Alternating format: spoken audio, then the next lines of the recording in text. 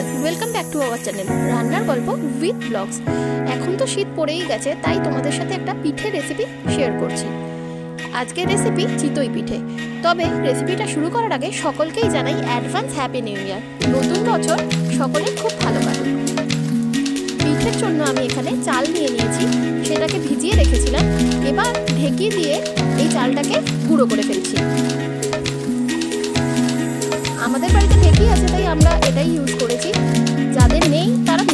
চালটাকে গুঁড়ো করতে পারো। অনেকদিন বাদে আজকে এই পিঠে রেসিপিটা আবার ঠাম্মা বানাচ্ছে। আর ঠাম্মার হাতে পিঠে খুব টেস্টি হয়, খেতেও দারুণ। তাই ভাবলাম তোমাদের সাথে এই রেসিপিটা একটু শেয়ার করে দেওয়া যাক।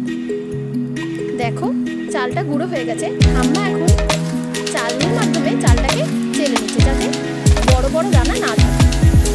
দেখো, কতটা মিহি হয়ে গেছে।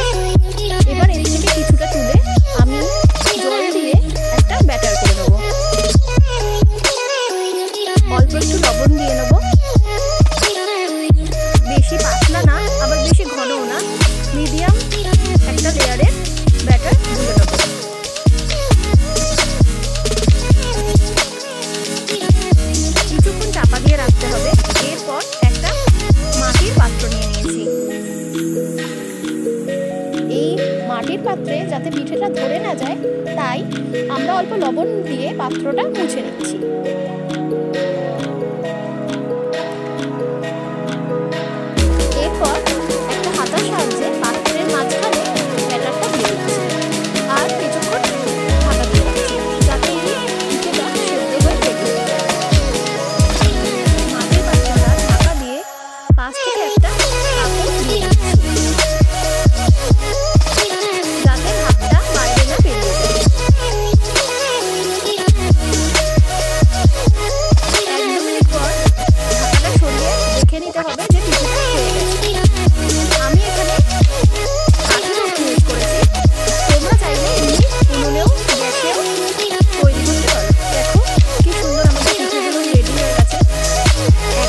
এটাকে গুড়ের সাথে সার্ভ করে দেওয়ার পালা।